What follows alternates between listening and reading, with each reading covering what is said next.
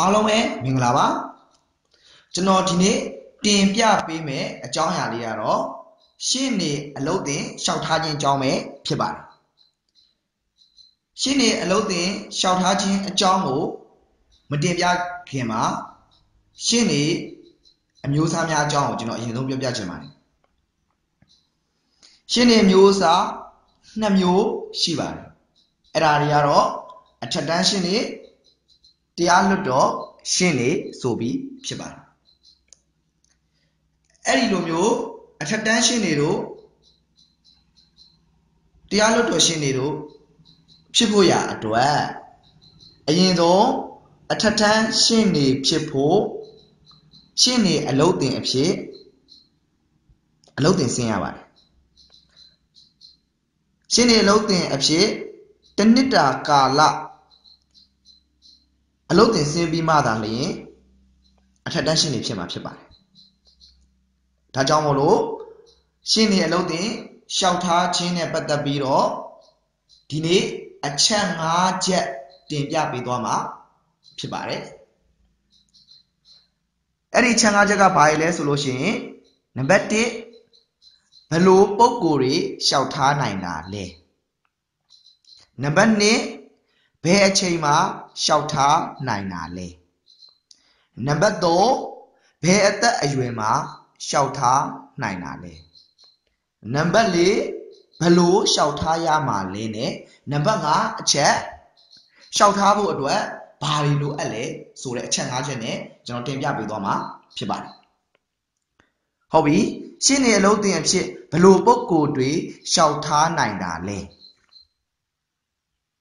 ရှင်းနေလုံးတင်အဖြစ်လျှောက်ထားနိုင်တဲ့ပုံကိုယ်တွေကတော့ဥပဒေဘွဲ့ရရှိသောပုံကိုယ်တွေနောက်တစ်ခုကကြတော့ PGDN ဘွဲ့လက်မှတ်ရရှိတဲ့ပုံကိုယ်တွေပဲဖြစ်ပါတယ်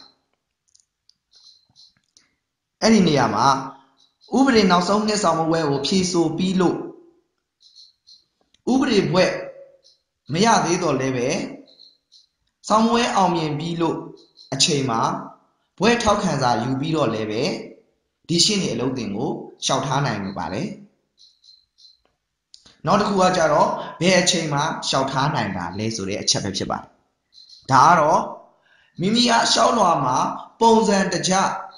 လိုအပ်ချက်တွေအားလုံးဖြည့်ပြီးလို့ရှိရင်ဘယ်အချိန်မှာပဲဖြစ်ဖြစ်ရှောက်ထားနိုင်ပါတယ်တချို့လာမေးကြတယ်ဘယ်အချိန်မှာခေါ်တာလဲဘယ်အချိန်မှာရှောက်ရတာလဲ အဲ့လိုမျိုးကန့်သက်ချက်မရှိပါဘူးဘယ်အချိန်မှာပဲဖြစ်ဖြစ်မိမိဟာရှောက်လွာနဲ့တကွာလိုအပ်တဲ့အချက်လက်တွေဖြည့်ပြီးပြီဆိုလို့ရှိရင်ကြိုက်တဲ့အချိန်မှာရှောက်ထားနိုင်ပါတယ်နောက်တစ်ခုနံပါတ်3ချက်ကတော့ဘယ်အသက်အရွယ်မှာရှောက်ထားနိုင်တာလဲဒါလည်းပဲအများစုမေးကြပါတယ်ဘယ်မှာအသက်ဘယ်လောက်ကန့်သက်ထားသလဲဆိုတော့မိခွန်းနေဖြစ်အဲ့တော့ ရှင်းနေအလုံးတင်လျှောက်ထားခြင်းနဲ့ပတ်သက်လို့ရှိရင်အသက်ကန့်သက်ထားခြင်းမရှိပါဘူးဘယ်အသက်အရွယ်မှာပဲမဆိုလိုအပ်တဲ့အချက်လက်တွေနဲ့ပြည့်စုံတယ်ဆိုလို့ရှိရင်လျှောက်ထားလို့ရပါတယ်နောက်တစ်ခုကနံပါတ်၄ချက်ဘယ်လိုလျှောက်ထားရမလဲဘယ်လိုလျှောက်ထားရမလဲဆိုလို့ရှိရင်တော့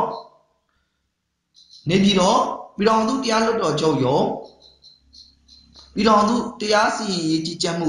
ရုံးမှာလျှောက်ထားရမှာဖြစ်ပါတယ်နံပါတ်5အချက်လျှောက်ထားဖို့ဘာတွေလိုအပ်လဲဟုတ်ကဲ့ပါလျှောက်ထားဖို့ဘာတွေလိုအပ်လဲဆိုလို့ရှိရင်မိမိမိမိကိုတပည့်အဖြစ်လက်ခံမဲ့ဆရာနောက်တစ်ခုကရှောက်လွာနောက်တစ်ခုက အလုတ်အကိုင်းမရှိကြောင်းကြမ်းကြိမ်လွာနောက်တစ်ခုကမိမိရဲ့ဆယ်တန်းအောင်လက်မှတ်နောက်တစ်ခုကမိမိရဲ့ဘွဲလက်မှတ်ဒါမှမဟုတ်ဘွဲထောက်ခံစာနောက်တစ်ခုကအိမ်တော်စုစရင်နောက်တစ်ခုကကြတော့အသက်16နှစ်ပြည့်လဲလှယ်ပြီးတော့မိမိရဲ့မှတ်ပုံတင်နောက်တစ်ခုကရက်ကွက်သို့မဟုတ်ကြေးရွာအုပ်စုအုပ်ချုပ်ရေးမှုရဲ့ ထောက်ခံစာနောက်တစ်ခုကရဲစခန်းထောက်ခံစာတို့ပဲဖြစ်ပါတယ်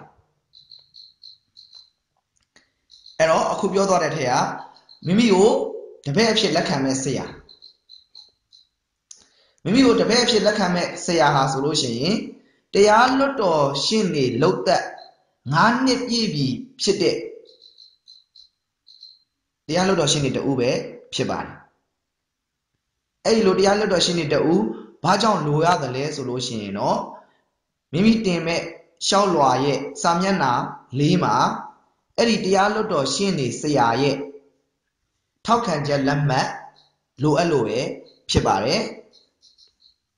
ဟုတ်ပြီအဲ့ဒါဆိုရင်မိမိကိုတင်ပြပေးမဲ့မိမိကိုတပည့်အဖြစ်လက်ခံမဲ့တရားလွတ်တော်ရှင်းနေလောက်သက်9နှစ်ပြည့်ပြီဖြစ်တဲ့မိမိရဲ့ဆရာ တရားလွတ်တော်ရှင်းနေတူရှိပြီဆိုလို့ရှိရင်မိမိကအရင်ဆုံးရှောက်လွာဖြည့်ရမှာဖြစ်ပါတယ်ရှောက်လွာကိုဘယ်ကနေရမှာလဲရှောက်လွာကိုဘယ်လိုဝယ်ရတယ်လဲလို့မေးလာတာတွေရှိပါတယ်ရှောက်လွာဝယ်ရနေရာရှောက်လွာလွာရရှိရနေရာဆိုပြီးတော့တည်တံမရှိပါဘူးမိမိရဲ့စီနီယာ အကိုတွေရှိရပဲဖြစ်ဖြစ်အမတွေရှိရပဲဖြစ်ဖြစ်ဒါမှမဟုတ်တိုင်းဒေသကြီးပြည်နယ်တရားလွတ်တော်တွေဘေးမှာရှိတဲ့ကွန်ပျူတာဆိုင်တွေရပဲဖြစ်ဖြစ်ရှောက်လွာနမူနာပုံစံတွေရယူနိုင်ပါတယ်အဓိကနဲ့အသေးချာဆုံးရှောက်လွာရရှိနိုင်တဲ့နေရာကတော့ကျွန်တော်တို့ပြည်တော်စုတရားလွတ်တော်ချုပ်ရုံးပြည်သူ့ဆက်ဆံရေးဌာနစိတ်ဆိုတဲ့ live space ရနေပြီးတော့ဒီရှင်းနေအလုပ်တင်ရှောက်လွာနမူနာပုံစံကို ရယူနိုင်ပါတယ်ဟုတ်ပြီအဲ့ဒီရှောက်လွာရှိပြီဆိုရင်တော့အဲ့ဒီရှောက်လွာကစာမျက်နှာလေးမျက်နှာပါပါတယ်အဲ့ဒီရှောက်လွာကိုလိုအပ်တဲ့အချက်လက်တွေဖြည့်ရမှာဖြစ်ပါတယ်ဒီရှောက်လွာလိုအပ်တဲ့ပုံစံတွေဖြည့်ခြင်းနဲ့ပတ်သက်ပြီးတော့လည်းပဲကျွန်တော်ရဲ့အလုပ်တင်ရှင်းနေမှတ်စုဆိုတဲ့ group မှာတည်တံ့တင်ပေးထားပါတယ်ဖြည့်ပုံဖြည့်နည်းနမူနာပုံစံဖြည့်ပြပေးထားပါတယ် ဟုတ်ကဲ့အဲ့ဒီရှောက်လွာလေးမျက်နှာကိုဖြည့်ပြီးပြီဆိုတဲ့တပြိုင်နက်နောက်ထပ်ဘာလုပ်ရမှာလဲဆိုလို့ရှိရင်ကြမ်းကြိမ်လွာလိုပါတယ်ကြမ်းကြိမ်လွာဆိုလို့ရှိရင်မိမိဟာအစိုးရဝန်ထမ်းတော်၎င်းအခြားပုဂ္ဂလိကเนาะဒီဟိုဘုတ်အဖွဲ့တွေဘယ်မှာပဲဖြစ်ဖြစ်အဲ့ဒီတွေမှာလောက်ကင်ခြင်းမရှိပါဘူးမိမိဟာအလောက်ကင်မရှိသူတူဖြစ်ပါတယ်ဆိုတဲ့အကြောင်း တရားယုံတယုံယုံမှာကြမ်းကျင်ထားတဲ့ကြမ်းကျင်လွာလိုအပ်ပါတယ်အဲ့ဒါရဲ့အဲ့ဒါတွေပြီးပြီဆိုလို့ရှိရင်မိမိရဲ့ဆယ်တန်းအောင်လက်မှတ်ဘွဲလက်မှတ်ဒါမှမဟုတ်ဘွဲမရသေးဘူးဆိုရင်လည်းပဲဟိုဘွဲနင်းတဲ့ပင်ကနေဘွဲပေးထားခြင်းမရှိသေးဘူးဆိုရင်လည်းပဲနောက်ဆုံးနှစ်အောင်ပြီးလို့ရှိရင်ထုတ်ယူလို့ရတဲ့ဘွဲထောက်ခံစာရဲ့နောက်တစ်ခုကကြတော့မိမိရဲ့အိမ်တောင်စုစရင်ပုံစံ66မြင်းတောင်6ပေါ့အဲ့ဒါရဲ့နောက်တစ်ခုက အသက်16နှစ်ပြည့်လဲလှယ်ပြီးမှတ်ပုံတင်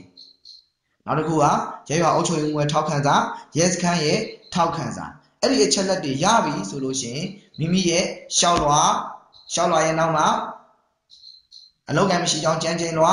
အဲ့ဒါရဲ့နောက်မှာဆယ်တန်းအောင်လက်မှတ်အဲ့ဒါရဲ့နောက်မှာဘွဲလက်မှတ်သို့မဟုတ်ဘွဲထောက်ခံစာအဲ့ဒါရဲ့နောက်မှာအိမ်အောင်လူစီရင်နောက်အဲ့ဒါရဲ့နောက်မှာအသက်16နှစ်ပြည့်လဲလှယ်ပြီးမှတ်ပုံတင် ရက်ကွက်အုပ်ချုပ်မှုထောက်ခံစာရဲစခန်းထောက်ခံစာတို့ကိုပူးတွဲပြီးတော့ပြည်အောင်မှုတရားလွတ်တော်ချုပ်ရုံနေပြည်တော်ကိုတွားရောက်ပြီးတော့စည်ရင်တင်သိန်းခွင့်လျှောက်ထားလို့ရပြီပဲဖြစ်ပါတယ်ဒီနေရာမှာဝန်ထမ်းတွေအနေနဲ့ရောအလုပ်ရှင်းနေအလုပ်တင်အဖြစ်လျှောက်ထားနိုင်ခြင်းရှိမရှိဆိုတဲ့ကိစ္စ ကျွန်တော်တို့ဝန်ထမ်းတွေလည်းပဲရှင်းနေအလုပ်တင်အဖြစ်လျှောက်ထားလို့ရပါတယ်ဒါပေမဲ့အဲ့ဒီမှာရှောက်လွန်နမူနာဖြည့်ပုံဖြည့်နည်းတွေပုံစံတွေအားလုံးကတော့တာမန်ပုံကိုယ်တွေရှောက်ထားသလိုပုံစံနဲ့အကုန်တူပါတယ်တခုလေးပဲလိုပါတယ်အဲ့ဒါကတော့မိမိလက်ရှိတာဝန်ထမ်းဆောင်နေတဲ့ဌာနရဲ့အကြီးအကဲကနေပြီးတော့မိမိကိုတပတ်လျင် 6နာရီအလုပ်တင်ဆင်းခွင့်ပေးပါတယ်ဆိုတဲ့ခွင့်ပြုချက်ကလေးတစ်ခုပဲပို့သွားခြင်းဖြစ်ပါတယ်အဲ့ဒီအခါမှာမိမိရဲ့ဌာနအကြီးအကဲသည်ဘယ်အဆင့်လဲလို့မေးတဲ့အခါမှာရှေ့လောက်ဖူးတဲ့ပုံကိုယ်တွေကိုကျွန်တော်စုံစမ်းပြီးတော့သူတို့ရှိရတဲ့အချက်လက်တောင်းခံကြည့်တဲ့အခါမှာတိုင်းဒေသကြီးသို့မဟုတ်ပြည်နယ်အဆင့်ရှိတဲ့မိမိရဲ့ဌာနအကြီးအကဲရဲ့ခွင့်ပြုချက်ပဲဖြစ်ပါတယ် ဟုတ်ပါပြီအဲ့ဒီအချက်လက်တွေအားလုံးစုံပြီဆိုလို့ရှိရင်ကျွန်တော်တို့ကဒီရှင်းနေအလုပ်တင်လျှောက်ထားခြင်းကိုစီရင်တင်သွင်းခွင့်လျှောက်ပြီးတာနဲ့တပြိုင်နက်မိမိဟာဒီရှင်းနေအလုပ်တင်အဖြစ်တရားရုံးတွေမှာတစ်နှစ်တာကာလအလုပ်တင်ဆင်းလို့ရရှိပြီပဲဖြစ်ပါတယ်ဒီလိုတစ်နှစ်တာကာလအလုပ်တင်ဆင်းပြီးပြီဆိုလို့ရှိရင်တော့အထက်တန်းရှင်းနေ အမှုလိုက်ပါဆောင်ရွက်ခွင့်ရှိသောအထက်တန်းရှင်းနေလိုင်စဉ်ကိုရရှိပြီပဲဖြစ်ပါတယ်ဒါကတော့ရှင်းနေအလုပ်တင်လျှောက်ထားခြင်းရဲ့အကြောင်းပဲဖြစ်ပါတယ်ကျွန်တော်နောက်အားတဲ့အချိန်တွေမှာလည်းပဲအားလုံးအတွက်ဘ ഹു တုတရဝယ်လေးတွေကိုဆက်လက်ပြီးတော့ကျွန်တော်တင်ပြပေးသွားပါမယ်အားလုံးကျေးဇူးတင်ပါတယ်